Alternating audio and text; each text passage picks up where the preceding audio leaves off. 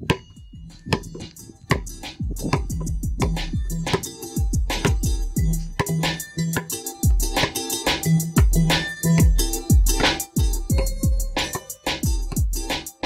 Hoop Heads Podcast is brought to you by Head Start Basketball.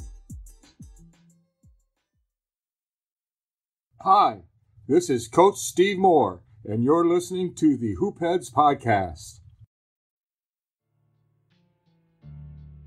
Hey, Hoopheads! Wanted to take a minute to shout out our partners and friends at Dr. Dish Basketball.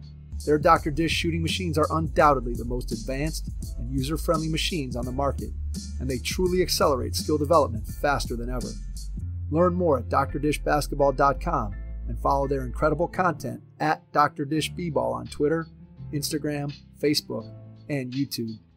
Mention the Hoopheads podcast and save an extra $300 on the Dr. Dish Rebel, All Star, and CT models. Also, make sure to check out the new Dr. Dish Home Machine, which is perfect for these crazy times when gyms and schools are closed. Visit drdishbasketball.com for details. That's a great deal, Hoopheads. Get your Dr. Dish shooting machine today. I've coached at all three levels. I've coached Division three, I've coached Division two, and I've coached Division one. So I've had quite a journey. You know, from Iowa to Maine to, to Connecticut to to now New York. Tobin Anderson is heading into his eighth year as the head coach of the St. Thomas Aquinas Spartans. Anderson has guided St. Thomas Aquinas to five straight NCAA tournament appearances. Tobin joined the Spartan staff in 2013 as the seventh head coach in the program's history, bringing over 17 years of coaching experience at the Division 1, 2, and 3 levels. Anderson came to STAC after a two-year stint as an assistant coach for Division 1 Siena College. Before his time at Siena, Anderson was an established head coach at the Division III level at Hamilton College and Clarkson University. While at Hamilton, he posted a 118 and 63 record over a seven-year span with a 652 winning percentage. The Continentals reached the league tournament five out of his seven years, including a tournament championship and a trip to the NCAA Division III tournament. Prior to arriving at Hamilton, Anderson earned his first head coaching position at Clarkson University in Potsdam, New York. In his five years with the Golden Knights, he broke the school record for wins with a 19 10 season in 2001 2002. Anderson spent three years as an assistant coach, two years at Le Moyne College from 1997 to 1999. He also started his college coaching career as an assistant at Clarkson in 1996, where he would later return. He has been involved in numerous basketball camps and clinics and has produced two basketball individual instruction DVDs. He is a lecturer and clinician at the nation's two most prestigious basketball camps, Hoop Group Elite and Five Star Basketball Camp. Tobin graduated from Wesleyan University in 1995 with a bachelor's degree in American Studies. He was a four year starter, a two year captain, and is one of the top 10 leading scorers in school history. Don't miss our Hoopheads Pod webinar series with some of the top minds in the game across all levels, from grassroots to the NBA. If you're focused on improving your coaching and your team, we've got you covered. Visit hoopheadspod.com slash webinars to get registered. Make sure you check out Thrive with Trevor Huffman, Beyond the Ball, and debuting this week, the CoachMaze.com podcast. Three new podcasts from our Hoopheads Podcast Network. We are unbelievably excited for the content we're going to be bringing you in the weeks ahead as more of our new shows come to life. If you've ever thought of hosting your own basketball themed podcast or a pod that covers an NBA or NCAA team, we want to hear from you about joining our great lineup of show hosts. Please take some notes and get ready to learn and grow as you listen to this episode with Tobin Anderson, head men's basketball coach at St. Thomas Aquinas in Sparkill, New York. Hello and welcome to the Hoopheads Podcast. It's Mike Klinzing here with my co-host Jason Sunkel. And tonight we are pleased to welcome to the podcast from St. Thomas Aquinas College in the state of New York, Tobin Anderson. Tobin, welcome to the podcast. Thanks, Mike. It's great to be here. Excited to have you on, get a chance to dig into all the different things that you've been able to do in the game at all of the levels in college basketball. I want to start out by talking to you a little bit about how you got into the game of basketball when you were a kid. Yeah, great. I mean, that's a, I appreciate you having me on and looking forward to talking some basketball here. So yeah, I mean, my my journey is starts when I was younger. My dad was a high school coach in Iowa, so he was you know really good coach, small town. So I I started going to practice and games when I was probably old enough to walk. And I don't remember missing a practice. I'm like one of those kids that like I wanted to go to every practice, and I would he'd have JV practice in the morning. I'd go to that. and then I'd go to varsity practice in the afternoon, and and um, you know, I'd shoot on the other end and watch a team practice. I couldn't get enough of that, so I was a gym rat from from the, the time I was able to to walk and talk and. You know, I just love basketball. I love being around the guys. I love being around the team. I love love seeing him play. And he had some down years. So I mean, I was around a team was 0 19. I think I was like 10 or 12 years old. So I saw some, some bad years too. but you know, it's like I saw him build a program. I saw how hard he worked. I saw how he treated the guys. My dad was a great coach. He, you know, he picked up the guys in the morning for, for practice. He drove them home. He drove them to school. In the summertime, we loaded up in a car and drove around Iowa, going to summer camps and, and playing in tournaments. And he just treated the guys so well, and they were part of the family. We had guy, we had, we probably every night had a guy at our dinner table. One of our, one of his players having dinner and spending time with us. So it was like an extended family. So I really got a chance to be around every part of coaching, and I knew I wanted to be a player. Obviously, I wanted to be a, a really good player, and I and I knew having some some uh, speed and size deficiencies, I was not going to be a great player, but I thought I could be as good, as good as I possibly could be. So I always had a key to the gym. I you know I played all the time. I wanted to play in the NBA. I think my, my mom and my dad sat me down in the eighth grade and told me that was not going to happen. And I, mean, I, still wanted to, I wanted to play at the highest level. So I, I became a really good high school player playing for my father it was it was fun to play for my father. I mean, I saw guys. You know, Steve Alford was a little bit older than me, but I watched Steve Alford play for Indiana and watched him as he played for his dad in Indiana. And it kind of gave me a, a, a, blueprint of, of how uh, things could, could go. And it was hard at first playing with my father, and then I ended up loving it and enjoying it. And he pushed me, and nothing was easy. And I became a really good player. I was a good player in high school in Iowa. I was all you know for an all state player and yeah, I wanted to play Division One, and, and so I went to I went to a prep school in Maine, Maine Central Institute, one of the best prep schools in the country. And, this before prep school basketball became like a big thing. So I went to Maine. I mean, I'm an Iowa guy leaving the confines of the cornfields to go to uh, Maine for a, for a season, and I got to Maine, and there was there was about 15 guys who were better than me. We had an unbelievable team. We had guys that went to to uh, Oklahoma State and Georgetown and, and Minnesota, and, and uh, really good players. So I was I was a backup on a really good team, and it kind of convinced me that I, although I wanted to play Division One, I, I was better off finding a level where I could have a great career. And so I went to I went to Wesleyan University in Connecticut, where you know, Bill, Bill Belichick's alma mater, Eric Mangini went to school there. It's a really good liberal arts school, one of the best schools in the country. And I was really not too interested in the education and as much, as much interested in playing basketball. And uh, you know, I had a good four year career at Division three. So I went to Division three and I played and I started for four years and it was a it was a, a thousand point score and, and two year captain on some some pretty average teams. But I was able to, for my year of prep school, understand that I wanted to be on the floor. I wanted a chance to play. That was the best level for me. I was not a Division One player, and so I thought that was a, a good place for me for me to go and have a good career and meet some people. And so that was great. And once I knew that I couldn't go on and play at a really high level, I knew coaching was the was the avenue I wanted to take. Being around my father and and having a chance to be around Max Good, my prep school coach in Maine, who was ended up being a you know, coach at Bryant for a number of years, coach at UNLV, coach at Loyola Marymount, really good coach and a good guy. So I was around him. Herb Kenny, my college coach, was the president of the, the, National Association of Basketball Coaches. So I was in his office one day and, and Dean Smith called. So, I mean, he had some good connections too. So I knew I wanted to go into coaching. That was the next best thing for me. I was not going to go play overseas and make a lot of money or, or, or play at the next level. So I got in, I went to Florida State for grad school got my master's degree, and then I went from Florida State to be an assistant coach at Clarkson Division three school up in Potsdam, New York. I was there for my, my, my, first coaching job with Walt Towns. Walt Towns came from from Dartmouth. He's a great guy and a, a mentor and a, just a, a, great person. So I was with him for a year. I went to Le Moyne for two years, Division two with Dave Paulsen, who's now the head coach at George Mason. Dave recruited me away from from Clarkson, and uh, I was excited because I was going from D three to D two.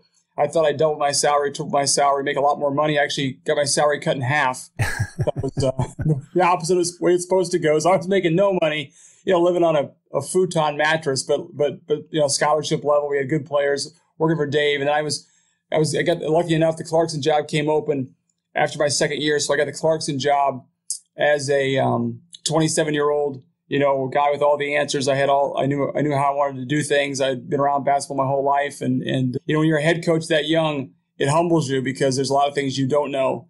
And I was able to make some mistakes and learn and, and get better. We had some really good years at Clarkson. We had three three of the best five years in school history, went to the postseason three years.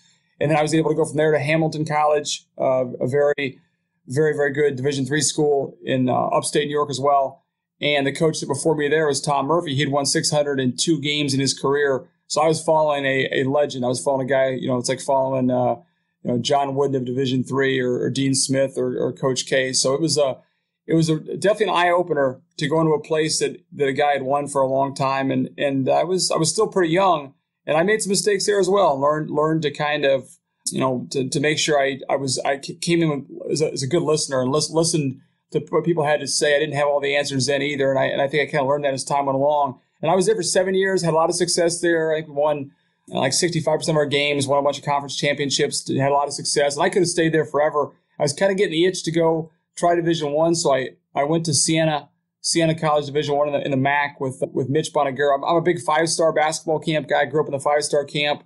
I was around that for, for 15, 20 years. So I was close with all the guys who were there, you know, the Pete Gillen, the Mitch Buonaguros, the Mike Fratello, people like that. John Calipari was there all the time. So I went with Mitch to Siena for two years as an assistant. And, you know, Siena's the kind of place where if you don't win, you've got to go someplace else. And so we, we, we, we were doing a good job, and I think we were close to getting it turned. And the year after we left, they actually won 20 games. So it's, but, but we didn't win fast enough or, or enough games or go to the NCAA tournament. So Mitch got let go and as well as I got let go as well with, with Mitch. And so, yeah, you know, it's a, it's a tough experience because you're trying to find a job at that point. And I was lucky enough to know the athletic director at St. Thomas. I recruited his son at, at Clarkson. So I had a chance to know him a little bit. The job was open. I had no idea where it was at. I had no idea what the situation was, but I needed a job.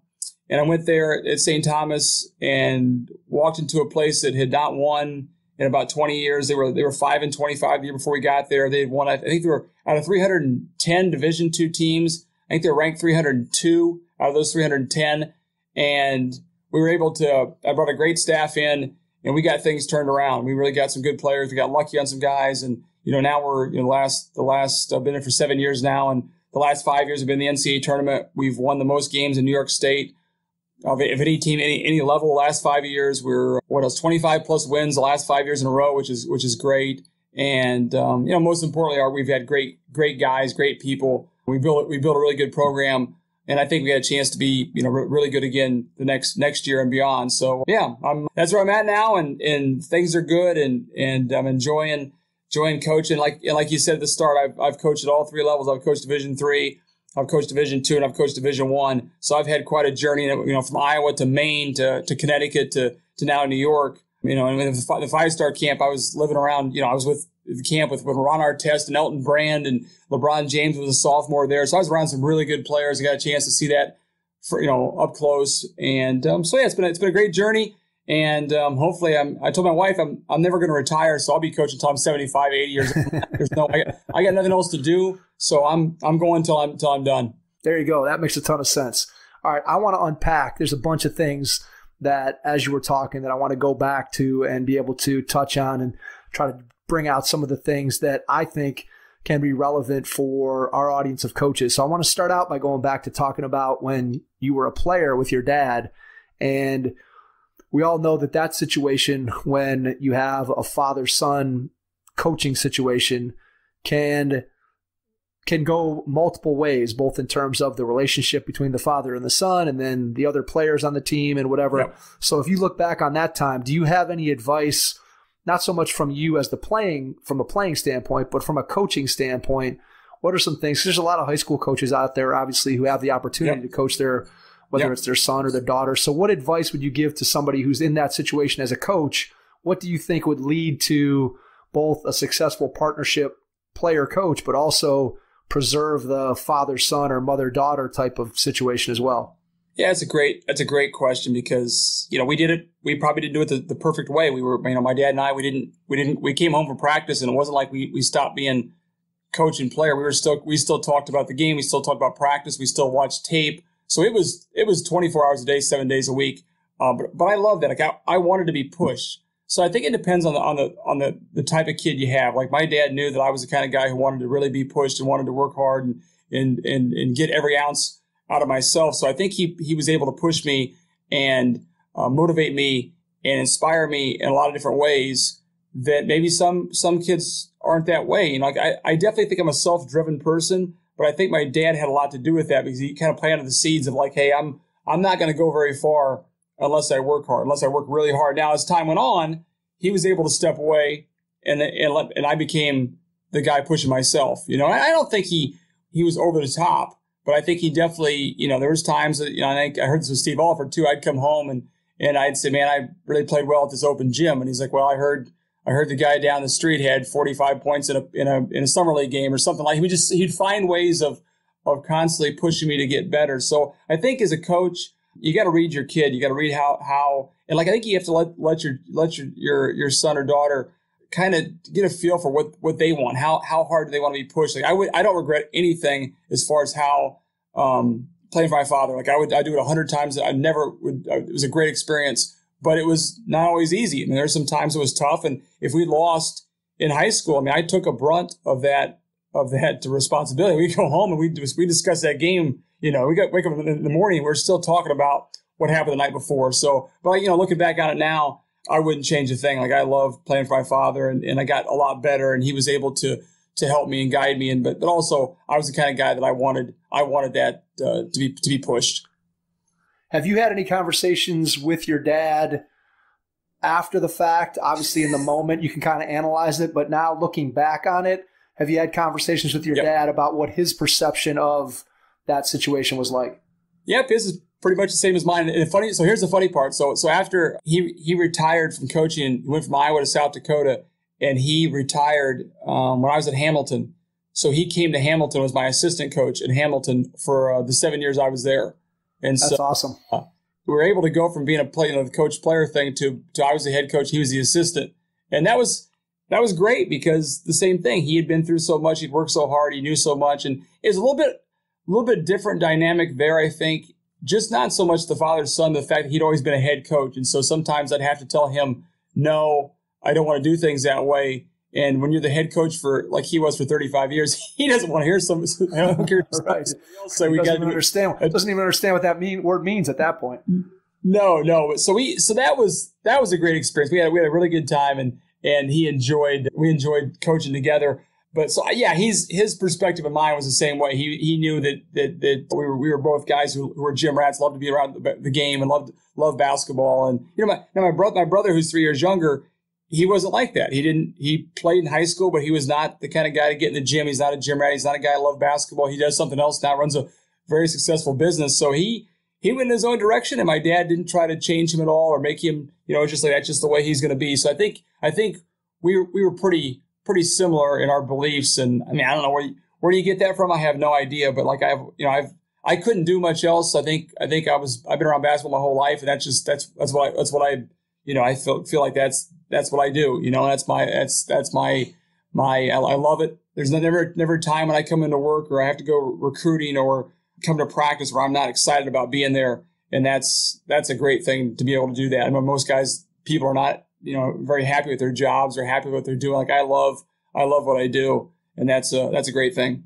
Well, that's something that any coach would love a kid like that, regardless of whether they're your own kid or not. If you have yep. if you have a team full of players that are self motivated, that love the game, and that want to work at it and get better, as you know, that leads to a pretty successful situation for you, whether it's your individual situation or your team. If you can put together a group of guys like that, and you really got something and you can exactly build the kind of program that you're wanting to build. And I'm sure we could talk about this as we get more into you know building your program at St. Thomas, just about the type of guys that you look for. Yep. I want to talk a little bit about your recruiting and the decision that you made to go and play at the Division three level and get an opportunity to play. And I heard you mention a couple times that you wanted to be a Division one player, and obviously we all know that today and also in the past that that's something that a lot of kids aspire to. And in a lot of cases, it ends up maybe not being realistic for those players.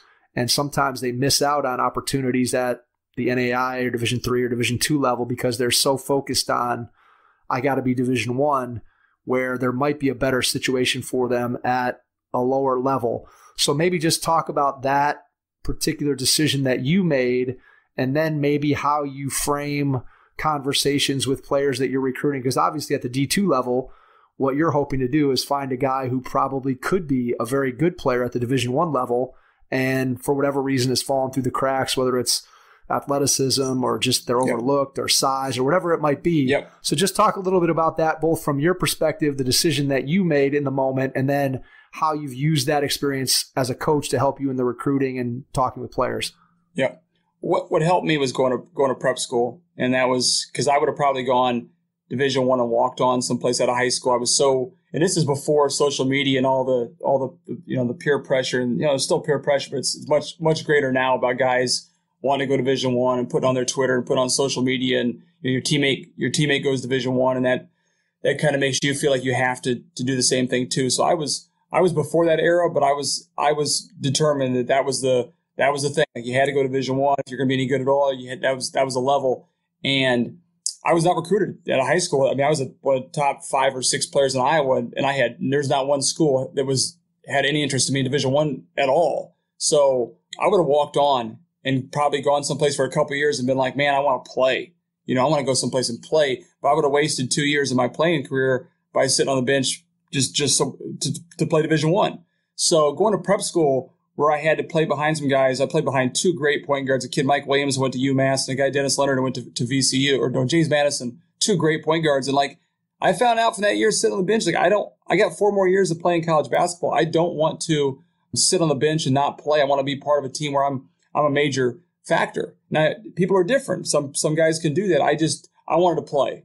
So the, the going to prep school and having to spend a year sitting on the bench gave me the experience of knowing that, that being on the floor is a lot more important than the, the level you play at. And so what you just said there, Mike, is so important. When I talk to guys now, is that's the thing is like, do you want to go someplace? There's two things we try to sell. We try to sell the opportunity to play. You know, you come to Division Two in our, in our level, it's probably maybe a better fit for certain guys, and that's where you're going to get guys who who probably should be where the, with us.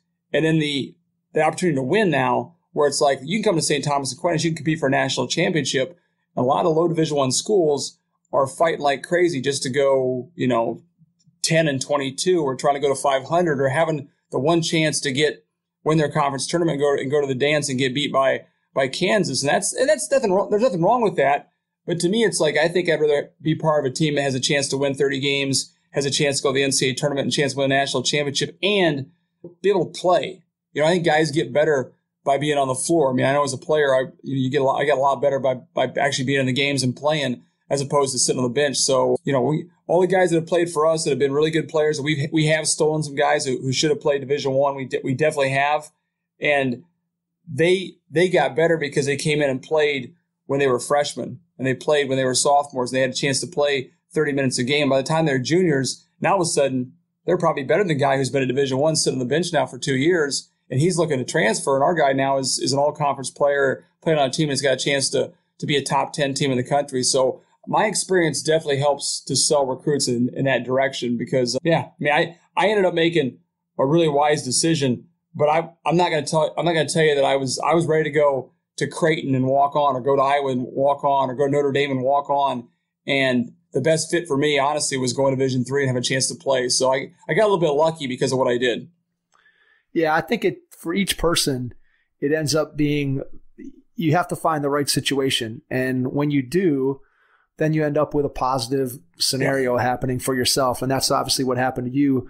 Is you found the right program, you found an yeah. opportunity to play, and it turned out to be a great decision. And we know there are guys that probably have that same decision that you make that maybe decided, hey, I'm going to try Division One, and they end up in the right place for whatever reason, and yep. it works out for them. And conversely, I'm betting there's a lot of guys that still have sort of an overinflated opinion of themselves and end up going to a division one school like you've talked about and then they get recruited over and they're sitting on the bench and their career which could have been one that was filled with a lot of playing time and a lot of fun and a lot of accomplishment ends up being spent as you said on the bench. And if you're a player especially if you're someone who when you were describing yourself i always think of myself in that same light of a kid who just couldn't get enough basketball and just wanted to keep playing and playing and playing and working hard and getting better and all those things. The idea of I know the year my freshman year at Kent State, I sat on the bench and played. I don't know, I maybe played between like four and six minutes a game as a freshman, and that was by far the hardest year of my basketball career to go every day and bust your butt and work hard in practice, and then game time comes and you just have to sit there. And uh, you know it was it was tough. And you put your time in and then eventually it led to me getting a chance to play my yep. final three years. But and i was a borderline i was a borderline recruit. I was the last recruit out of a group of seven freshmen. And i was probably a kid who was in a somewhat similar position to you where i had lots of division threes that wanted me. I had lots of NAI schools that wanted me to come there. And i just kept looking around kind of like you did at the people that were around me, especially as a high school player. I didn't have the, the year of prep school to kind of open my eyes, but as a high school player, I would look around and say, I play against this guy all the time in the summer. I play against that kid all the time. I'm better than him. I'm as good as him. Why is he going yep. there and I'm not going anywhere?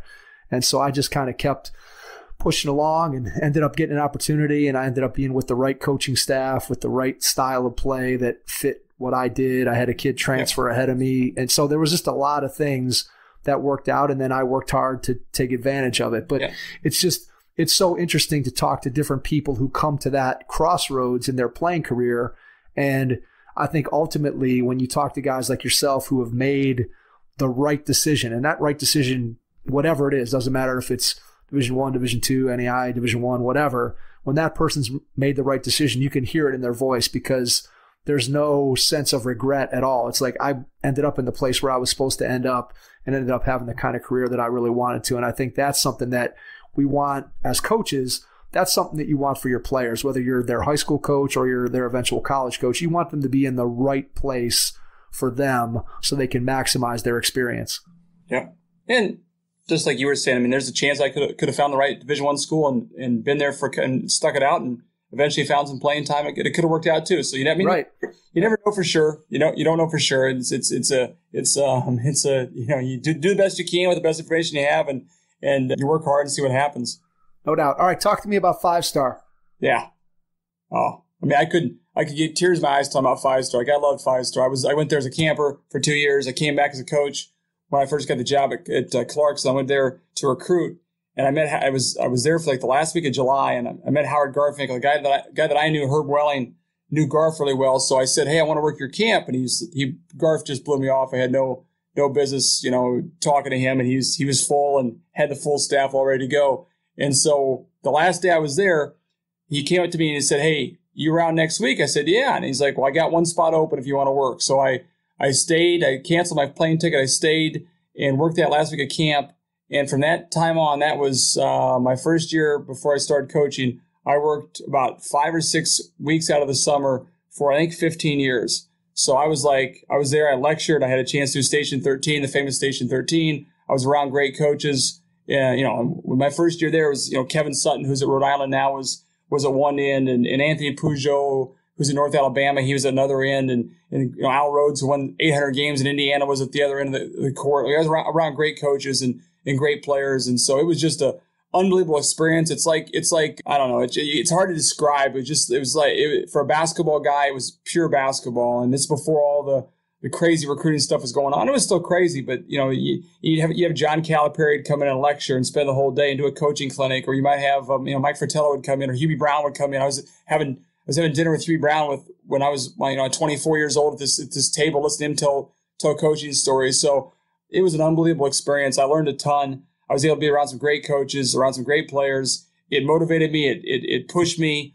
Garf was a was a tremendous mentor to me throughout my whole life, my whole career. We, we really got along great. He was he was uh, so good to me, and you know advised me the, the whole time, and always helped me with, with, coaching jobs. And and we were you know great, great friends the whole way through. He passed away a couple years ago, but um, in fact, our, our best player at, at STAC, he was he's personally responsible for sending sending to me. So it was a I couldn't, you know, I, if I could go back and do that again, I would, I'd go back and do five star a hundred times over. Like I loved, I loved being there, and I, I'd work, and, and those were those were hard days. You'd go, you'd go from six in the morning till till midnight, and you might go for seven straight days, and and it was nonstop. But you loved it, like you loved being there. And some of my best friends and coaching and are guys I met through five star. They're I'm almost almost, and I a lot of my recruits come through. You know, a guy from Indiana will call me up. Hey, I got it. Tobin, I have a, I have a player for you. A guy from Pennsylvania, guy from Texas, and it's a lot of connections, a lot of great people. So I really enjoyed enjoyed is a is a is a, is a very that's not a strong enough word. Like I, I used to leave there in August, and it was like it's like you just hated to leave. Like you just loved being there. And so, and I was around some great players. I saw LeBron as a rising sophomore. I saw you know all, all the guys that came through. Chris Paul was a junior. John Wall as a camper was there, Roger Mason who was there. I mean, just some incredible players. And you get a chance to work with them every, every day and, and spend time teaching them and at stations and, and, and things like that. So it was a great experience, and I and I really loved it. And I, and I miss it. I miss miss miss that. That's it's kind of gone by the wayside now with summer basketball, and it's it's too bad because it was a, it was a great thing, a special thing for for the players and for the coaches. So it was it was yeah. awesome. It's so different the way things are today with our system. And again, not to sound like the old man, get off my yeah. lawn speech, but it just I think players today, it's so hard for let's just think about if you're a top 100 player in the country, it's so the experience that you have today being on whether it's the EYBL or the Under Armour circuit or Adidas, whatever whatever it is that you're on, you're playing with gear that's being paid for and yep. you know you're getting flown around the country you're playing in these nice gyms and you know there's scouts packed in everywhere and then you're like well the system used to be you would go out and play on these tennis courts outside and trudge up the hill and yep. you know eat, eat the food and if you were really good you oh. got to work in the cafeteria so you could go to camp for free and yep. it's just this the the way that five star was set up it was set up for basketball junkies and it was set up for the time the way the basketball culture was during the era when you grew up and the era when I grew up where I spent so much more time as a basketball player playing outdoors, yep. whether when I was real young on my driveway and then when I was older just playing on the playground.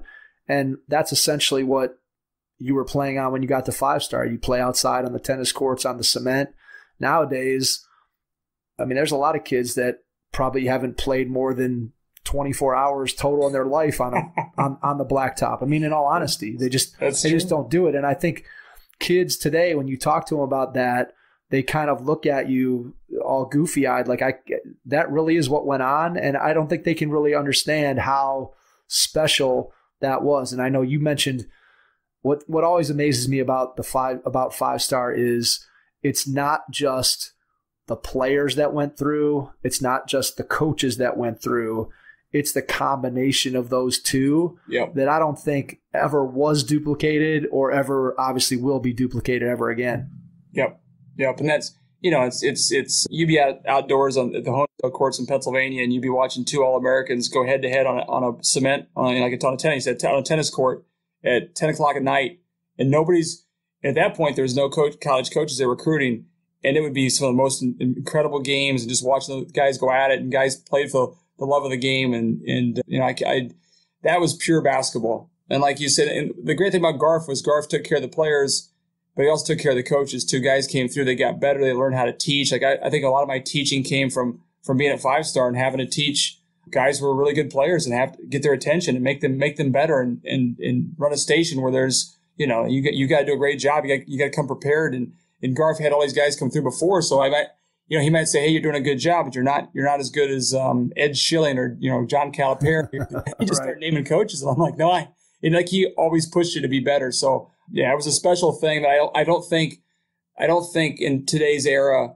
like you said, I don't think that's something that would. It just it was great in its era, and it, it's it's probably gone. It's just not going to ha- come back again. That's and it's too bad.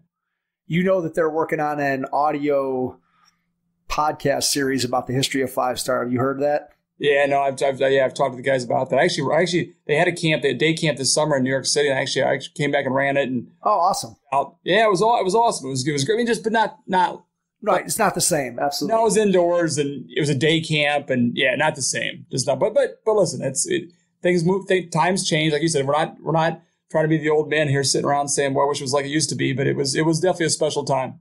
Yeah, I'm rooting for Carl uh, to and, and, those guys to be able to get it to be able to get it yep. going and be able to at yep. least keep the name and the legacy alive. You know, if PRC and Carl can get that done, I think that yep. would be tremendous if they awesome. can again, somehow figure out a way to, as we've said, they're not going to bring it back, obviously, in the form that it was. But if they can carry on the legacy of Garf in some way, what That'd a great, great, tribute to be able to keep that keep that thing going. It would be it would be tremendous. Coaches, we've teamed up with E3 Analytics so you can now purchase three of their exclusive new playbooks.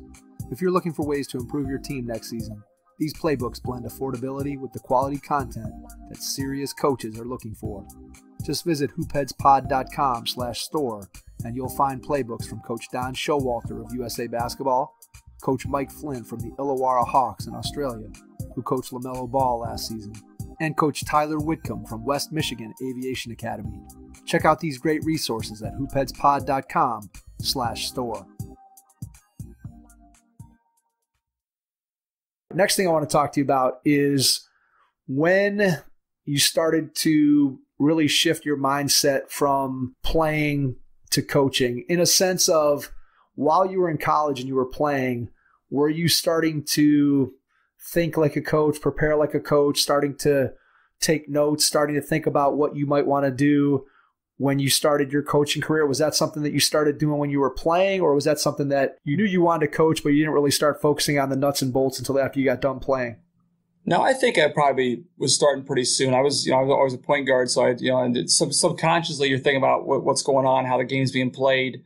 I was the kind of guy that if we were going to play Amherst on a Saturday, if, if they played on a Wednesday, I'd drive up to watch Amherst play. If we after practice and go, I mean, you know, I'm not sure it was scouting, but I just go watch the game because I wanted to see what they did and how they did things. But as before, we didn't do as much film as, as, as there is now, so I would go watch watch teams in, in, in general. And you know, the, the difficult part, I think, when you are the way I was as far as coaching and basketball and living basketball, if your teammates aren't the same way, it gets a little frustrating sometimes because you're like, why aren't they the way, you know, why aren't they as consumed as I am? And they, they probably thought that I was an idiot. I was, I was crazy. I should be worrying more about my finance class or my economics project or something like that. And I really had no interest in that because I wasn't going to go down that road. so yeah, I was definitely from a basketball standpoint constantly. The more I could, the more I could watch, and we'd, I, I watched, you know, we we go to games all the time. When you're living in when you're when you're in Connecticut, you're so close to the city, you're so close to Jersey, you're so close to to a lot of those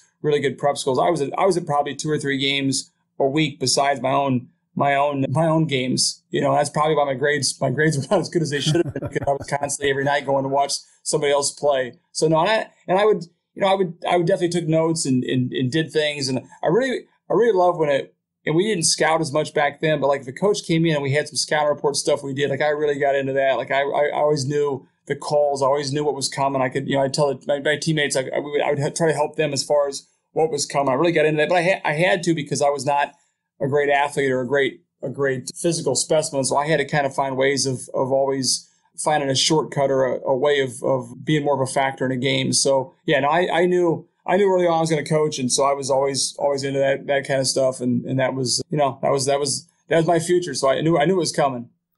So when you get that job at Clarkson and yep. you become a coach for the first time, what was something that surprised you about coaching that maybe you didn't realize when you were on the playing side of it that you just thought to yourself, hmm, this is interesting. I didn't realize coaches did so much of this, or I didn't realize this was going to be something that I, that was going to be in my job description. Do you yeah. remember something that was surprising yeah. to you?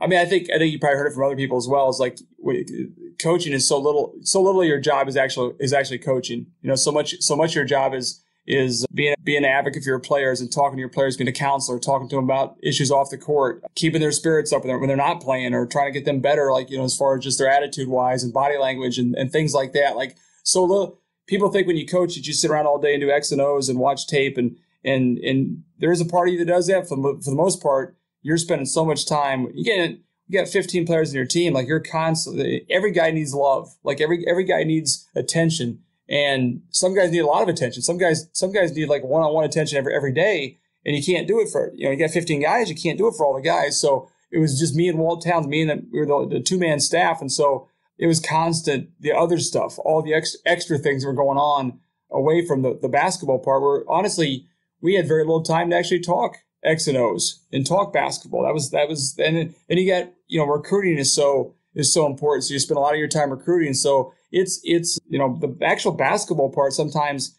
becomes something. It, it, it's like a bonus for you. You get a chance to do a little bit of that, but more of everything else. And so I think that and that stayed true for you know as long as I've coached. It's like we still spend more time about our players and how they're doing and what's their attitude and if there's if they're not getting too tired or worn down, things like that. And so it's actually been nice like the last few months here with with the with the chance to you know no camps, no nobody on campus. Like I've spent more time actually doing basketball stuff, talking X and O's in the last three months than I would ever almost ever do usually. So yeah, that's that's the biggest thing. I think people the perception is that coaches just do X and O's, and that's that's such a small part of what we do. All right. So when you think back to that time, what part of coaching did you think that you were naturally good at right out of the gate? Some part of it that you yeah. thought, I've got this part, this yeah. part makes sense to me. And then what part of it was more difficult or more challenging that you've had to grow in over the course of your career? I tell you, you get great, you get great questions, Mike. This is, this is awesome. That's, that's, that's good stuff. It makes you think, you know, I think, I think from the standpoint, I was really good with the players, like individually, like really good with, with one-on-one helping them get better because that was my background. Like I was a, I was a, a player, a grinder, a, a gym rat, a guy who was in the gym by myself all the time. So if it was just me and a, me and a player, you know, one-on-one, I was really good helping that player get better, talking to him, teaching him things like that. I think that was a, a, a niche for me was the development piece, the individual development stuff where I really enjoyed that one-on-one time or one-on-two time or small groups or whatever. So I was really good at that. I think I had to learn the recruiting part of things, which in college coaching is such a big thing. I had, I had, had that, that was a part that I had to learn. I didn't, had no idea how much was involved there as far as, you know, all the calls and the, the dialogue and not just with, with the kid, but the parents too. I think that was something I had, I had to learn a lot about that, that, that thing. And then I think just when you, you know, is, you know, when you go from being an assistant to a head coach too, just with the team, like the team dynamics and, and,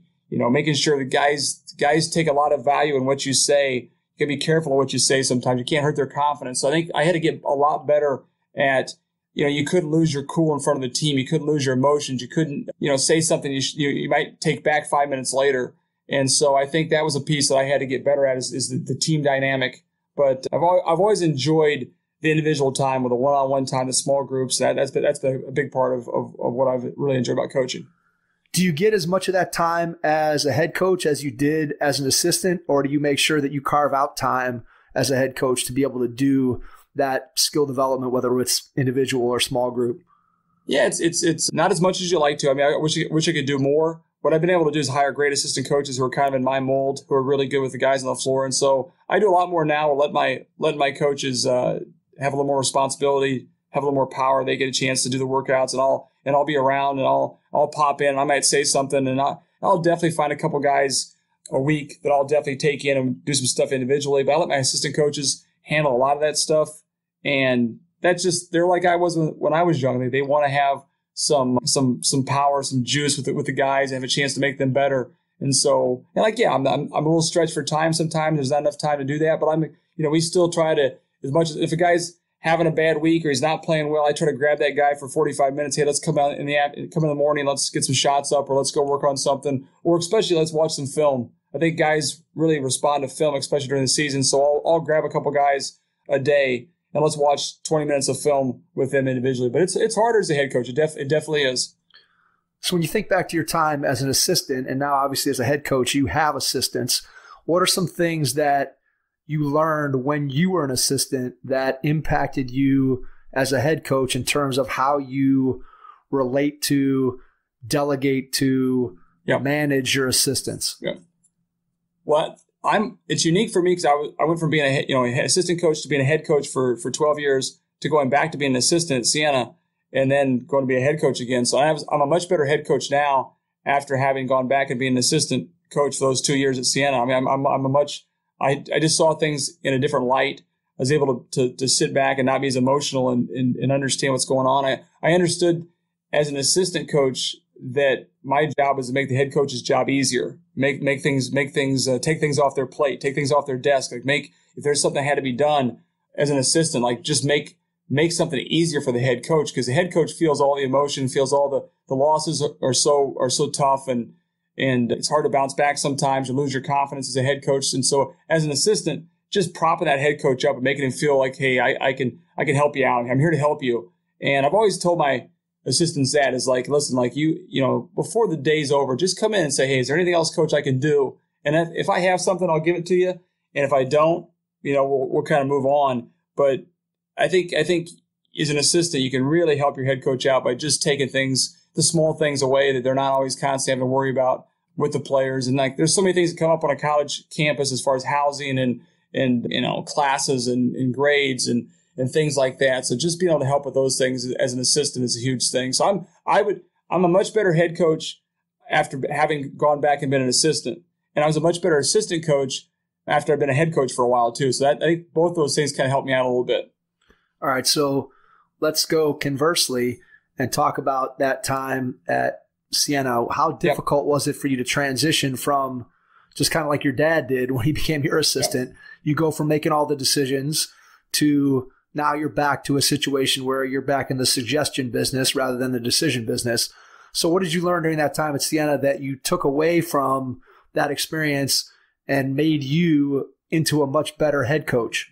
Yep, I'm, I, and that's a great thing, a great point because when I went back to be a, to an assistant, I thought that wouldn't be that hard. It was, it was really hard. It was hard to to go and, and and not be able to make all the decisions and not be able to have the final say. And I was working for a guy, Mitch Buonaguro, who's a great guy. Um, we're good friends from Five Star. I knew him for a long time. We are better friends, you know, than we were actually you know that I knew I knew more as a friend as, than as, a, as a, fellow coach, and so that was good. That part was good. We were we were close, but it's still it's at the end of the day, it's his program. It's his. He goes in front of the team and says what he's what he's going to say, and I had to make suggestions. And if it, if I didn't like something that that that he thought, I had to go along with it, and that was that, it was like I had to, but like that's the right thing to do. You know, it's like you got to fall in line. We left the we left the the office. We were all on the same page. We're all fighting the same battles. So I learned that part of things pretty quickly. I learned a lot about staff chemistry. I think you have to have great staff chemistry when you're a head coach in, a, in a, in a good program. You got to make sure the guys um, really are fighting for each other. You know, I see a lot of times at, at, at certain levels, you see guys who are constantly trying to, you know, my recruit or my scout or, you know, that kind of thing where it's like, listen, you all, it's, it's all about the, the, the staff and about being together and, and fighting the same battles to, together and there's no there's not anybody's certain recruit or certain scout it's, it's we're all the, we're, we're just trying to win games and do the right thing and i think one of the things we've had at st thomas i've had great staff chemistry like our guys you know we can go out and, and, and have a beer go out and have a have dinner and the guys get along we bust each other's chops we make fun of each other and then when it's time to go to work we're definitely able to go to work you know and i think there's there's a lot of pressure sometimes at a place like siena division one where you got to win, you know, and if you don't win, you're, you're to get fired. And that's true. I mean, that's true. Division two and three at, at certain points, but like you can't let the pressure consume you. You got to still make sure that, hey, at the end of the day,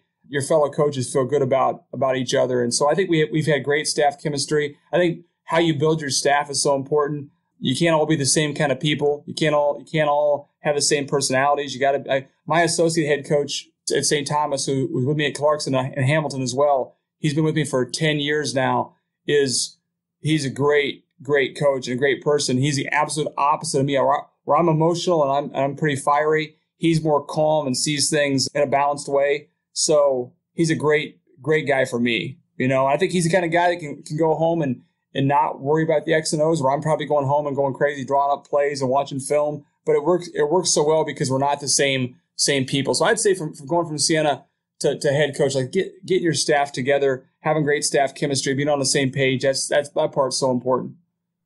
So when you first started, did you realize that personality difference in your in your staff? In other words, did you realize that you needed to have people with different personalities, or when you first started, were you looking for people who shared the same philosophy as you? Because I would think, just again, if I was an inexperienced coach, my first inclination would be to find people who share the same yep. types of philosophies that yep. I do in terms of both X's and O's and style of play, but also in terms of demeanor. Like if I'm a calm, yep. You know, that type of coach, I would seem like just personally as a young coach, I would probably want more guys like that. Like I wouldn't want that fiery guy because I might not be able to relate to him. And so is that something that you kind of grew into over the course of this experience at Siena?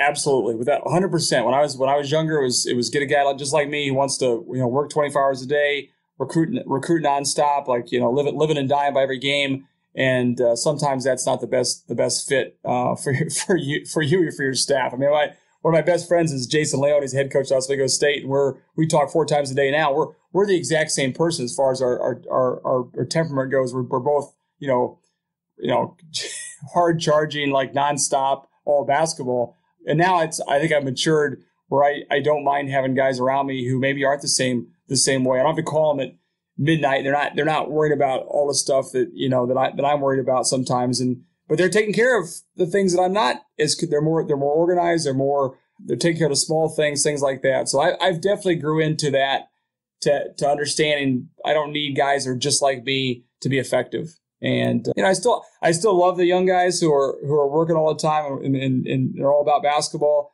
But I don't need a whole. We have I have four four assistants now, and they're all four guys are a little bit different. You know, one guy was a player, one guy was a manager, one guy didn't play at all. You know, so it's just a different backgrounds, and it's it's worked out really well. Like we've had great great staffs at St. Thomas. How do you think about your responsibility to them as a head coach, helping them to develop if if they have the desire at some point to maybe it's move up a level as an assistant or maybe it's eventually to be able to take over their own program how do you look at that responsibility as a head coach i think that's a big part of my responsibility i think i, I have to do a great job helping them get get better and i think that's another part where i've, I've you know used to be the old saying hey one one voice at practice or one voice with the team i don't I don't subscribe to that anymore. I want guys to speak up. I want guys if they, if they say something that's different, they say something that's that's not the exact opinion as mine. I want them to to speak up. I want them to sit to to to, to hey, you know, tell tell the team what you think. Tell them what tell them what you think's going on. I let my my coaches actually they do the substitutions for us. Like I don't I don't do subs anymore. I let the, I let my my the guys in charge of our big guys. He he subs the big guys, and guy in charge of my guards subs the guards just to give them some some responsibility, you know, give them some power there. They handle most of the scouting reports. I mean, I watch a lot of film, but they handle more of the scouting reports. You know, they're they're more in charge of that kind of stuff. So I I've given them a lot more responsibility as time's gone on. And I think that helps them be ready to be head coaches. And I think that's that is definitely part of my my job is to get them ready and to prepare them for for what's to come. And and um, I, I always tell a story. I had a guy who uh, worked for me, who actually played for me, right? Rob Tosti, really really good player, good coach and he had this drill that I hated. He did this drill with, with players. I, I just despised the drill. and um, but he he would do it, and I'd say, well, I'd say, well, I don't like that drill. And he's like, well, I used to when I was a player. I really liked it. So I'm like, well, listen, go just just do it. That's fine. Just if you, if you like if you like it, do it. I mean, I'm just I'm just telling you, I don't I don't I don't like it, but like I I've let guys do kind of what they want to do. I'm not I'm not afraid if they say something that I don't totally agree with. And it gives them some power with the players too. It gives them a chance to, to test things out. And honestly, I've learned a ton by letting my coaches have their opinions and saying what they what they what they think. And we disagree all the time, but when it comes to you know our staff chemistry and, and solidarity and loyalty, it's been it's been off the charts. Like I couldn't I couldn't ask for for better coaches than I've had. I think a lot of it's I've I've get, I've stepped back a little bit and given them more power. How many years was, were you in before you felt comfortable, confident enough to be able to delegate like that? Oh, not until I got to St. Thomas for sure. Yep, not until I not until I got to St. Thomas, uh, not until I, after I was at Siena. You know, my first my first years at, at, at Division three as a head coach, and your staff's not as big at Division three. I only had I only had like one or two assistants, but I definitely was was more of a, you know, I was more authoritative as far as that kind of stuff go. The, the one voice, I was you know, I'm the, I'm the only voice in practice. Like that's I think that's kind of ridiculous now. It's like looking back on it, like why why why should that be that way? You know, so I think it took me to, to go to Siena to take a step back to see how how things were perceived. And guys want to hear from other coaches. And so I think I've gotten a lot better since I've become a head coach again at St. Thomas than I was before. Before we dig into your program at St. Thomas, let's kind of go with an overarching question across levels. Just talk to me a little bit about in your mind as a coach, what are some of the things you loved about each level and what were maybe one or two of the challenges at each level? Yep. That's that's uh, that's great. Yeah, Divi- on Division Three is is the, what I loved about that was that you got guys that, that were you know very well rounded. They weren't just there on a scholarship, so they were you know they love basketball, but they also had other other interests as well. You know, you have a guy you know a guy wants to be a lawyer, a guy wants to be a doctor, a guy wants to to you know what work overseas and go into go into public policy. Like there's a lot of guys that, that I coached at Hamilton who are, who are doing great things now, and in Clarkson too, doing doing doing unbelievable things off the court. So I, I enjoyed that part of things. And I think there was a time when out of season, it was kind of good for me to, to not be around them all the time, where they got a chance to kind of, there's a little bit of a buffer there.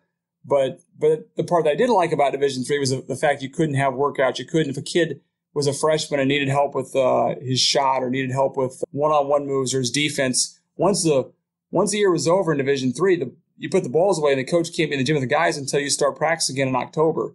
And that was, that was hard. Like that was especially for a guy like me who likes to be in the gym. So I I did not like the inability to work with the guys out of season. I, re- I really missed that. And so we you know now at Division two we have we have eight hours a week total. We get four on, on the court out of season, and that's awesome. So you know, Division two, I love the fact we get a chance to to do all the all the off the courts, you know, all the out of season stuff, the workouts, the skill stuff, things like that. So that, that part's great.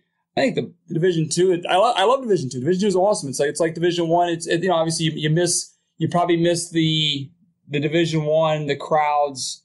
You miss maybe a little more. You know, when I was at Siena, you go play Georgia Tech, or you go play we you know you play LaSalle or something like that in front of you know Siena was a great mid-major program. You drew six thousand fans a game, so you miss you miss some of the the excitement of a of a of a, a big crowd. Like we're you know even at STAC, like we we we our place is a, it's a small gym, but we we pack that place, but it's still like it's a thousand people, you know. So I think that's the part you probably miss a little bit from Division Two, Division One. But I love the the workouts and the out of season stuff. I think that part from from from the non scholarship to the scholarship. I love the the workouts out of season. And Division One, I, I loved I love the you know the atmosphere and the, the big games and you know, playing on ESPNU. I mean, that's that's fun for the, the players. It's fun for the coaches. It's it's a great thing for recruiting. Um, that part was great. I thought at a certain point at Division One, I, I think the summer stuff's gotten to be too big. I think when you have summer school classes and you have workouts all summer, the guys can go. I think guys sometimes need to be able to go on their own and get better and work on their games. And I have a coach in the gym the whole time. You know, I'm going around last summer. I'm watching some college practices, and guys are doing shell drill in July, and I'm like, man, if I I would. I go nuts if I was doing shell drill. I agree. I agree with you there, Tobin. I just, had a com- I just had a conversation with my former with my former assistant coach uh, back from when I played, and we talked yeah. about this exact same thing. And I just said that one of the things that, as a player, like I loved the summertime where yeah. I could just go home and again, like we talked about in relation to five star, like I just love to go out and play in the playground and play pickup games and yeah. work on things and get on my game. And I know how difficult the season was and how demanding the practices were, both from a physical and a mental standpoint. And I told him, I said, I don't know if I was going 11 months of the year. And I was just like you, I love basketball and I couldn't get enough. And the day our season ended, the very next day I was in the gym playing pickup basketball. So it wasn't like I wasn't a kid who loved the game, but for if I was going 11 months at that level of intensity, both mentally and physically, I agree with you that I'm not 100% sure that that's a healthy situation yep. for either the athletes or the coaches for that matter. I think everybody yep. needs to be able to step away, oh, step away a little bit because otherwise your battery you, you never long for it. If you're just doing it all the time you, you know the old absence makes the heart grow fonder. Yep. if you're never away from it you never are itching to get back. I mean i always remember how excited i was on october 15th when practice is going to start and we're ready to go again. And you know if you're going all year round that day of the first official practice obviously loses its it loses its luster because this is no different than what I've been doing since the yeah. season ended last March. And so I agree with you there. I think it's I think it's dangerously close to being being too much. And, yep. and I, would be I'd be curious to do a little truth serum poll with both coaches and players at the division one level and see how everybody kind of feels about it. Because obviously there's benefits and we know that having coaches being able to work with players, you can help them improve and whatever. But I just think that the the grind of that over four years has got to wear guys out. Yeah, I think what you said is a great point. Like being excited to be in the gym. Like you know, we're they're not they're not always like like you are. Like they're some guys love basketball, some guys just play because they because they're good at it or they just they enjoy it. It's fun to compete. So you don't want to grind those guys down where they don't enjoy coming to the gym and being excited about. Like yeah, you said October fifteenth is that's that's the date, right? Well, now it's like Division One start in like September something. Like the the date's like September twenty eighth. Well, that's that's not as much fun when you're starting that early. So I, I don't, I 100% agree with you. I think it's, it's, it's lost a little bit of its luster by not having some time. And I used to love going back to Iowa and playing summer league, summer league basketball, you know, playing, playing in summer league with, with the Iowa guys, the Nebraska guys, the Iowa State. Absolutely. It was, that was fun. I don't want to be in a gym doing drills in the middle of July. I think, I think it's counterproductive sometimes. Yeah, I mean, I just think from a mental standpoint, if nothing else, it's just yep. you have to be able to recharge your battery. You have to be able to get out of that environment. You have to be able to hear a different voice. I mean, if you're hearing the same voice, you have the same head coach for four years and the same staff, and you're hearing those guys day after day after day after day after day, eventually, as a player, I would think that you got to be you got to be tuning that out to some degree if you're hearing it 11 months out of the year for four straight years. That's that's tough. That's a grind that I'm glad I don't have to go through. Let's put it 100%. that way. Yep, absolutely. All right, so let's talk about St. Thomas and how you've built the program there. Go back to day one when you get the job. What's your first thought in terms of putting together a program and trying to build what you hoped you were going to be able to build there? What were some of the first things that you said, I got to get these things done if we're going to be successful? Yeah, I mean, that was, it was when you walk into a team, it's been, you know, it's quite frankly like really bad. Like they, they won five games six games and five games the three the three prior years. So they were they were bad. So um, I had to get a feel for why they were bad. Like, was it because of the players? Was it because of the lack of commitment? Was it you know institutional? Was it you know what was it? So I, I had to get information as much as possible. So I and I become a better coach by by listening as I got to St. Thomas. So I kind of like just try to get a feel. I was living on campus. I was living in a dorm. I'm in I'm in some some awful dorm. My my wife and kids are still up in in Siena finishing school. I had two months in a in a townhouse down there trying to, you know, working from six a.m. till till midnight trying to figure out uh, what was going on. Like what was it? What was the problems there? And the, the good thing was the guys that were still there wanted to win. They'd been so bad for so long. They they were like they listen they listen to anybody who was coming in. It didn't matter if it was me or somebody else. They just wanted things to change. And and uh, we came in with a with a plan and you know to create a create a work ethic to be a, the hardest playing, hardest working team on our schedule um, to have a great team attitude, to get better every day. And uh, you know that was that was we just got a culture going and just started just started off by working and and establishing that great work ethic which you have to have, and then doing the right things off the court. Like there were some things going on. The GPA wasn't good. It, it was one thing to have a team that's not not performing on the court, but they're good kids and they're just maybe not quite talented enough. We had some guys who who were off the court getting in trouble. Grades weren't very good. The G, team GPA was the lowest of any team I think, on campus. So we had a lot of stuff we had to we had to figure out and get better at. And, and the, the good thing was I had five open scholarships when I got there. So you know, a lot of times you get to a place and you know there's everybody's everybody's staying and they don't you know they're, they're not going to leave. We had five open scholarships, so I signed. We signed. I, I hired my associate head coach Matt Capel. We signed um, our first three guys combined for five thousand points in their careers. We had two guys that scored two thousand, and one guy that scored a thousand were our, were our first three signees when we got there. And that was just being lucky. It wasn't, we were not, you know, these guys had no other scholarship offers at all. We got them from, from, you know, checking our resources, calling people. And so we were able to get more talent and we just got, we got better players and that, and that happened pretty quickly. So we thought it would take us probably three or four years to be relevant and we were able to win 21 games in year number two. So we got and we got our first year we, we were 15 and 14. Probably my best coaching job was our first year because we were not a, a very good team. We went 15 and 14, got to the conference finals uh, for the first time in school history, and that set the table then for the next year, winning 21 and actually winning the conference in, our, in year number two. And since then, it's been all uphill from from there. So it, it was uh it was a uh, when you take over a new job, it's just like it's it's especially a place you don't know anybody who's there. We had to like just just start from the, from the bottom and and establish the culture, establish off the court stuff, and how hard we're going to work, and then get some players who who believed in that and would, would work hard and, and were talented. So it was a it was an all an all out effort. You know, it was, it was not one thing. We changed the locker room. We had to change the signs on the wall. We had to, we we repainted things. You know, we, we bought a gun. They didn't have a shooting machine. We, we, we, we, we bought that we got new uniforms. We just we tried to change as much as we could early on to give them a, a, a look that hey, this is going to be a different situation, a new program, and get guys excited about what we were doing. So it was. I look back now, I'm, I'm lucky. those, are, those are long years. Those first those first couple years, like those are long. Those are long years because it's it takes it takes a lot of effort. Well, those are a lot of non-direct. Going back to our earlier conversation, those are a lot of non-direct basketball decisions that you're making yep. in terms of we're painting the locker room, we're changing our uniforms, we're yep. doing this different and that different. And I'm sure all those things that contribute to building the type of culture that you wanted. And yet, as you said before, doesn't directly reflect. It's not like you're sitting there drawing plays on a napkin. You're doing yep. other things that are helping you to build your program. So you have the culture piece of it, and then you also have the talent piece of it. So I wanted to ask yep. you one question about each of those two.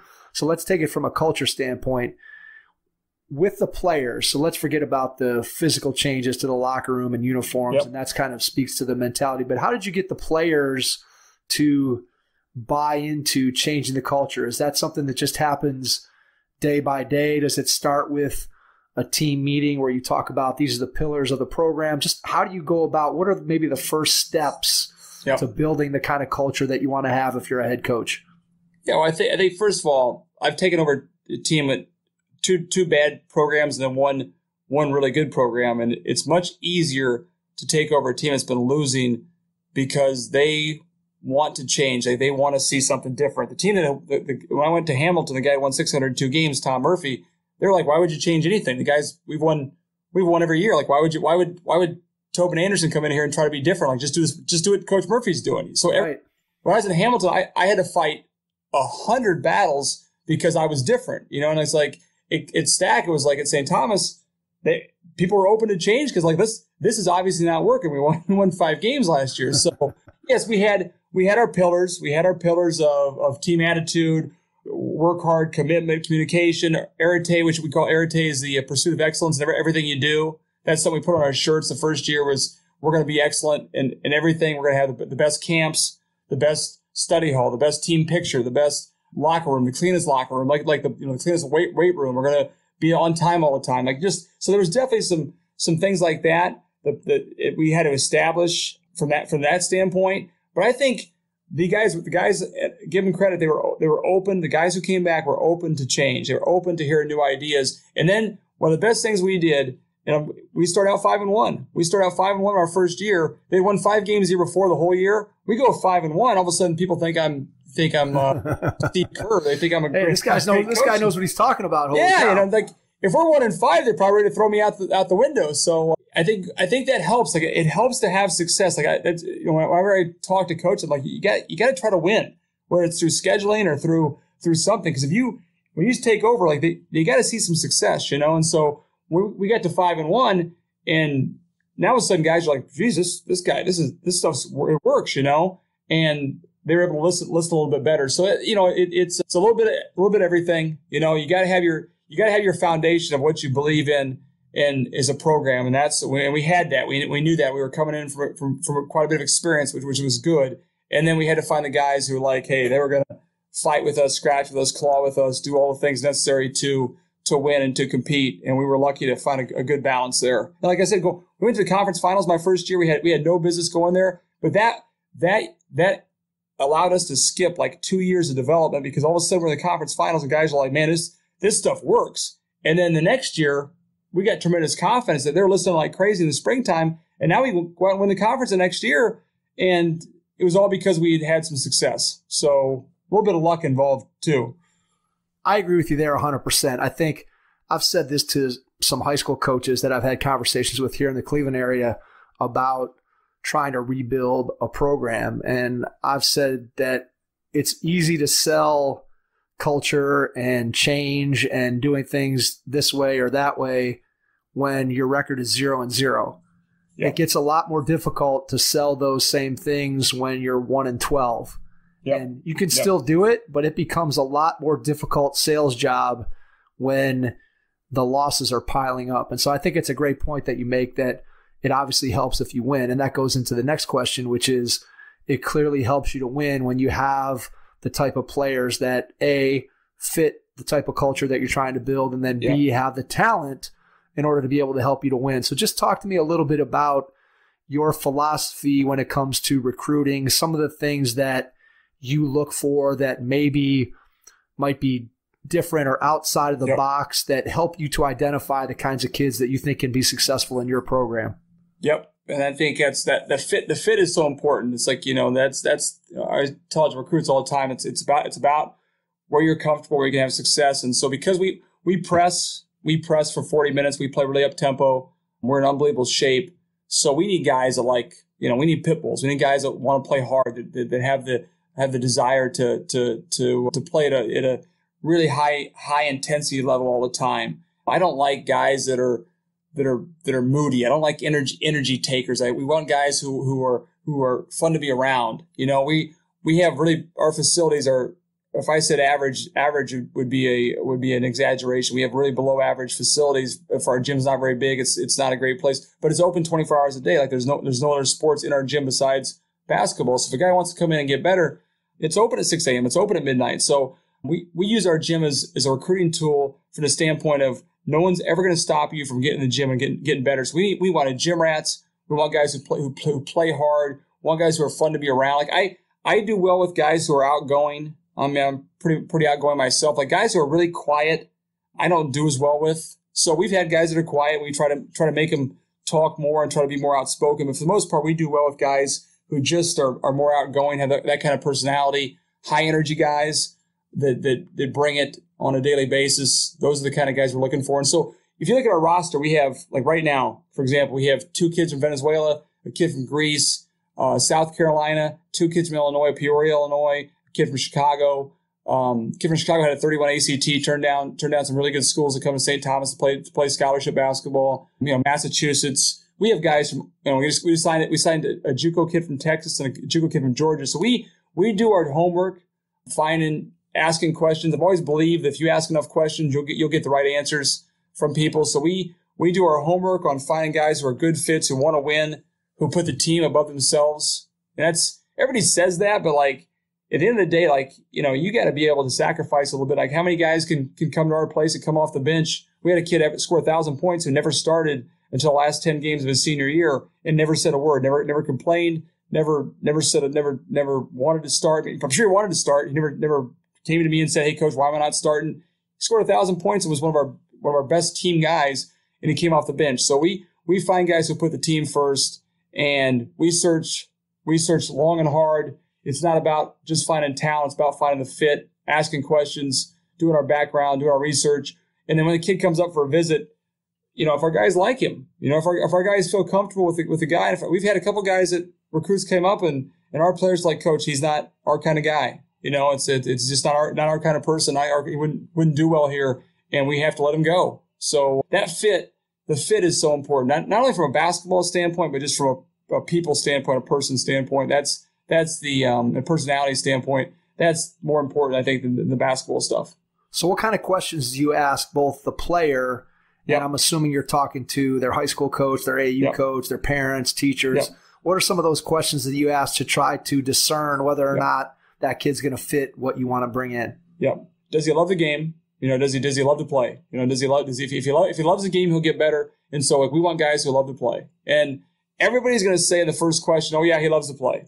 But then you got to dig a little bit deeper sometimes, get a better feel for what's what's important to them. Does he love to compete? Like how how competitive how competitive is he? You know, that's something we that's probably the two most important questions are: Does he does he love to play, and is he competitive? And then obviously the the off the court stuff. Is he a good kid? Has he never been in trouble? Is that that kind of stuff? Is he is he a good student? And like we don't need all guys who are 4.0 students. We need guys who are gonna go to class and, and do the right things. And and listen, I want I want guys from good programs. There's no doubt about that. I want I want guys who come from winning programs, from good programs that have had success. Uh, most of our guys that we have at STAC, we know, we had a kid from St. Anthony's played for Bob Hurley. Like there's no doubt that kid knows how to win, knows how to compete, knows how to practice, knows how to come in at six in the morning to to to do conditioning. We have a kid from Mount Vernon. Mount Vernon wins 25 games a year up in New York. I mean, he's he's used to winning. So most of tons of guys out of DC that have been really good for us that have come from great programs. So we we want guys who come from winning programs, who've had success, love to play, love to compete,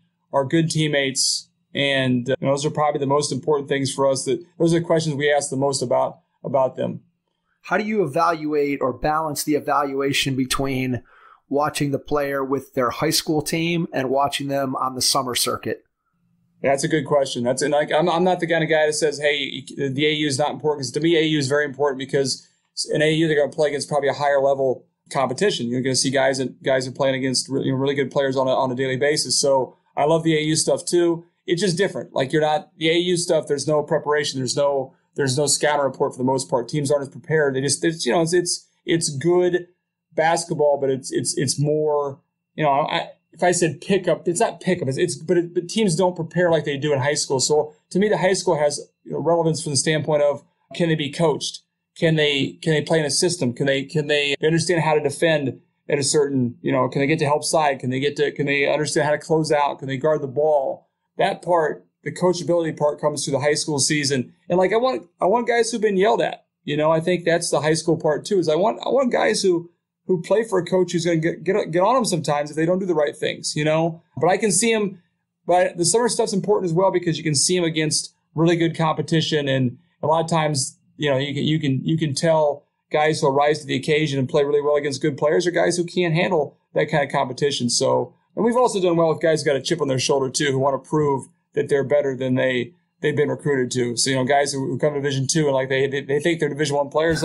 let's let's go prove it. You know, we beat St. John's uh, my third year. We beat St. John's by 32 at their place, and that's simply because our guys were like, "I'm going to show people we we're better than the guys at St. John's." Right. Absolutely. There was no motivational speech that night. They just went. they, they all had chips on their shoulders. Let's go. Let's go prove that we we belong. That's that, awesome. That is that yeah, is it awesome. was incredible. Yep. Yeah, that's that's that's fantastic. How do you how do you stoke that competitive fire within your team, within your practices? What do you do to build in yep. competitiveness into your daily practice setting? Yeah, I mean, I think that comes from from how we start, just we, you know, from, from how we do conditioning stuff. We we we we got a thing. We, we got a thing. We, a program. We, our conditioning is, is very very intense, and um, we got a thing called the Ironman Club. And the Ironman Club is a is a we have a plaque on our wall in the locker room. We have T-shirts we hand out that if you don't miss if you don't miss a workout all through the fall, all through September, October, there's about 20 to 25 workouts before we start practice that are, you know, they're tough. There's 6, there's 6 a.m. on the track, 6 a.m. in the weight room, 20 suicides in 20 minutes. And so our guys, if you can get, if you can be on time and go through every workout, no, no, no, no injuries, no sickness, no, I got a tummy ache this morning, and they can do every workout, they get, they're part of the Ironman club. So right off the bat, our guys are competing like they don't, they want to be in that Ironman club. So they compete during conditioning stuff. They compete during the fall.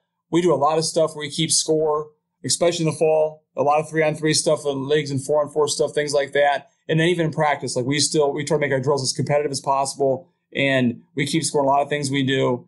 And it just you know, and but but listen, you have to have guys who who are competitive people. You know, you get guys who who are used to to to winning, and that helps a lot. But we definitely we set a tone. Like we have shooting contests. We have we keep scoring. We have pro, program records for the shooting contests where the highest score gets a gets a little traveling trophy they put in their lockers. And there's you know there's records on the board for the program records. And so guys are there's a competitive spirit I think through everything we do from from the weight room to the the, the conditioning to the shooting contest to how we play. And we have a, another plaque that has each player's since we came to STAC to St. Thomas Aquinas, uh, each player's number of wins. So it has their wins. So just if you played in that game, you got to win. So like you know, we get guys now with a, uh, like one one class at 109 wins, and so we got guys now that are juniors saying, "Hey, I want to beat, I want to beat that 109. I want to get to 110. I want to get to 111." And so we have, yeah, we just kind of constantly stoke that fire as much as possible. Isn't it amazing that something as small as that leaderboard or a little trophy that you can give them or, or a t-shirt yep. that says I'm an Ironman, yep. how motivating yep. that can be. And I know I've used that as a coach. And just hearing you say that, I know like when I was at Kent, we had a conditioning program where you had to score. It was like an agility course, and we would do it actually out on the asphalt and jump over these tires and all kinds of stuff. You look back at it now, you're like, I'm surprised the whole team didn't come down with shin splints during preseason conditioning. It was kind of insane, but there was, you would get this. It was the 350 club, and that was just like the total number of reps that you did within this whatever this agility course. And I remember just killing myself yep. to try to get this goofy t-shirt that I could wear around that nobody nobody besides the 15 yep. players on the team and the six coaches even knew what it meant. So it's not like I could wear it around campus and people would be like, "Oh, look at look at Mike, he's part of the 350 club." but yet I remember killing myself to get that thing and I still have it. I know exactly where it is even yep. today 30 years after I got done playing. So it's amazing to me how those little motivators really do work and really do have an impact on kids. We give our guys, we give them little, superheroes, like little, little like a, a Batman or, or Superman or Aquaman um, figurines. If they get, if a guard gets five rebounds and a big guy gets eight rebounds, they get a super. We call them a superhero, and they they they fight and complain about the numbers. they thought if one guard had had four and he swears he had five, he'll watch the whole tape by himself to prove he had five rebounds to get a to get a stupid little superhero. Yep. It's a dollar. Believe it. And, it, they, they love that stuff, you know. So they do. Little things like that go, like you said, go they go a long ways. They really do, and I think that's one of the things that it's easy as a coach, as an adult, to forget and to kind of blow off at times some of those things and think, eh, you know, that seems kind of corny or that seems kind Yep. of stupid or man, they really don't care if they get that shirt. But the reality is we know how important that stuff is. And I always think about coaching like my own kids' teams when they were in third or fourth grade and passing out the shirts for like a rec league and just being like, eh, it doesn't really matter what number they get. And then having the kids remind you that, oh yeah, it does remember it does it, Yep, it does matter what number they get. They're Yep. killing each other to get number three or number five or whatever it was. and Yep. you forget as an adult, you're like, why do you even care? And yet. I for you know, you forget that as a player, as a kid, how important those little things are that as adults we sometimes forget. And I think you have to be really intentional as a coach about putting those things into your program like you've done. Yep. Absolutely. You can't forget that you're you're getting older, but they're staying the same age. So true. That is that is definitely true. That's a great way to look at it. It's a great way to phrase it because I think sometimes, as you said, we we forget about that. We we we keep getting older. We keep getting further and further away from their music, further and further away Yep. from the culture, and you have to really be intentional about continuing to immerse yourself in that. And I'm sure that you see that every day as a college coach, just in terms of keeping track of what it is that they're doing. And social media Yep. adds a whole nother aspect to Yep. that, I'm sure. How do you handle that piece of it as a coach, the social media, both from what your players are putting out there and how you talk to them about that and how you encourage them to use it or not use it? Just talk a little bit about how you handle that. Yeah, I mean, I, I think we're we're pretty pretty hands off to be honest with you. I think we just told guys to be smart. Like there, there'll be guys people will be looking at, they'll be following what you're doing. I actually had to tell one of my guys who was actually graduated, who was trying to get a contract overseas. He put some stuff a little bit questionable up on his Twitter page. I said, listen, like you know, a guy guy wants to sign you from a certain pro pro team. Like they're going to look at your social media, and if they see something they don't like, they may choose somebody else. So it's like we constantly talk about. You know, I've been on a couple com- committees where a guy was going to be you know, All American or something, and, and something like that hurt them. So it's like, listen, they're gonna people are gonna, gonna gonna look at what you're doing. Just be smart. But like, I don't I don't monitor. We're not like all over about things. You know, I think I I hear if something happens that's not great, I'll usually I usually hear about it. But like I I follow most of them on Twitter, but I'm, I, it's not a rule. I'm not I'm not you know I don't have to. You know, they follow me on Twitter. Probably think I, I put up stupid things too sometimes. so I'm not. Yeah, I let them kind of be themselves as long as they're smart. As long as they're not, making you know stupid decisions. I, I can't. Now some stuff I probably can't see. I'm probably happy that I don't. But but I think I think for the most part, our guys make pretty good decisions as far as that kind of stuff goes. You know, it's been around long enough now where I think guys, you know, when it Right, first they came understand out, the- they understand the. Now guys know, hey, if I put the wrong thing up there, it could it could hurt me. Absolutely. I think it when it was when it was first out there, Yeah. I think there was a lot more fear Yeah. of what it could be. How do you handle just not even from your guys, but I'm curious. This is something that I think about both from a coaching and a playing standpoint. And I don't know if you deal with this very much at the Division two level. I guess I think of it more maybe at like a big time program that has a huge number of fans Yeah. that are following players on Twitter and you know after games they're getting stuff sent to them on social media and that kind of thing. Do your players see much of that? And if they do, how do you help them to handle people saying, "Oh, you went one for ten tonight. You know, your you know your games. You know, your your game wasn't very good tonight." How do you handle that with players? Yeah, we don't get we don't get a ton of that at Division Two, so that's not a that's not as bad here at, at St. Thomas. But at Siena, it was awful. It was terrible at Siena. It was, it was in fact, it was more like the message boards, but it Yeah. was it was brutal. Like they were they Siena's like a it's like a wannabe. It's a great place. It's an unbelievable place, unbelievable basketball. But they they think they're Carolina or Duke sometimes. People in town do, and they're they're great people. But it's like there's a ton of attention. So they, there was al- al- always stuff. We'd always hear about it on the message boards in the newspapers, things like that. And it was pretty critical a lot of times, and not just the, the players, but the coach, the coaches too. So right. like, you know, you got to be careful yourself. Like I didn't want to read somebody who said something about you know my head coach about Mitch, and you know we just had to. You just had like guys, you just can't. You just can't fall and you just can't fall down that well of of of once you read one, you might read fifty, and most of the time when you read fifty, you know, 45 are going to be negative, you know, so you got to just do the best you can to be mature and, and stay away from it. But I think that'd be a really hard thing. You know, Dave Paulsen's a good friend of mine, George Mason. I know I, he addressed his team last year when I was there about that. And it's, it's hard. Guy goes, like you said, goes one for 10. And all of a sudden, every, every fan in the world's got all the answers and what, why are you shooting? And you just have to f- find a way to ignore it, you know? And I think, I think um, that's easy to say to a guy who's a 40 year old coach, but for a kid who's 19 or 20, that is not easy to be able to do that. I think that's probably one of the bigger challenges at that level to be able to just to to to not you know pay attention to like all that stuff going on. I, I can't imagine. One, I can't one of the biggest challenges like. at that level would, would be that. Yeah, I can't even imagine what that's like. It's got to be yep. tremendously yep. difficult to be able to deal with both as a player and as a yep. coach, and then as a coach trying to help your players to navigate that. I'm sure that's extremely challenging. All right, Tobin, we're coming up close to an hour and a half, so I want to give you one last question and then give you a chance to share how people can find out more about you and your program. So yeah. the final question is two-parter. What is the biggest joy that you have when you get out of bed in the morning? What's the thing that you most look forward to about your job every single day?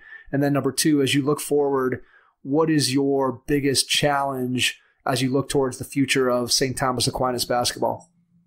Yeah, that's a good, good, good question. I mean, I think the joy I get from is, and obviously the last few months from being away from your guys, like we we finished before the NCAA tournament, we were getting ready to play and on like, like March 10th, and we got canceled. So I, I've been around my guys. I haven't seen my guys in person for four months. So I just I love being around my players. I love I love going to practice. I love to see them compete. I'm a competitive person, so I'm not. Listen, I I coach to make a difference. I coach to be around the guys, but I also coach because I'm competitive, and so I, I love when our guys compete at a high level. We go play good teams and, and love to play the, the, against the best teams on our schedule. Like I said, you know, playing we played Gonzaga, we played St. John's, we played we'll play anybody, any place, any time. And I love to see our guys when, when they compete at a high level, and that that's that's a fun part. And that could be that could be a practice, it could be during a, during an off season workout, but it's definitely true in the season when we go play against a good team and our guys are set a pretty high standard for how we play. So you know when you get when you get a bunch of guys who who, who play for each other and care about each other, and, we, and our guys definitely do. They care about each other. They care about the, the program. That's an awesome thing. And then it'll challenge going forward. I think for us is we've gotten to a certain point now where we've been very good, you know, 25 plus wins for five straight years and five straight NCAA's. But like the thing is, what's the next step? We're trying to get to a Final Four, win a national championship, and it's hard because that's you're you're, you're fishing in pretty deep water there. I mean, there's, there's you know there's really good teams out there, good program. Northwest Missouri State won the national title. They went to Duke last year. They lost to Duke by by six points in a in a in a preseason game. I mean, it's like there there's some really good teams out there, and we're not at that level yet. But that's the next step for us. And so that gets me out of bed in the morning. That gets that gets me going. Like, how can we get to that level to be able to be one of the best teams in the country, going from, uh, you know, a top 10, 15 program to being a top three or four program. And I don't think, I don't think we're that far away, but uh, we're not there yet. So that's probably the biggest challenge going forward is that, that, that next step and to sustain. I mean, I think there's, it's hard to, it's hard to sustain that, that level of success. You know, once you relax a little bit, things can go, can go bad. So we're trying to, we're trying to stay hungry and stay motivated and stay uh, on course and not get not get too distracted sometimes from what we're doing. There's no doubt that's a huge challenge is to sustain and to continue to grow. And you've already had the type of success that you've had, and so I can imagine that being with your guys and getting up in the morning and thinking about, hey, we need to get to this next level and we need to continue to do the things that we've done is tremendously challenging. And at the same time, just from getting to know you over the course of an hour and a half tonight, I could tell that that challenge is one that you're yep. super excited about day in and day out. So before we wrap up, I want to give you a chance to share how people can connect with you, how people can find out yep. more about your program.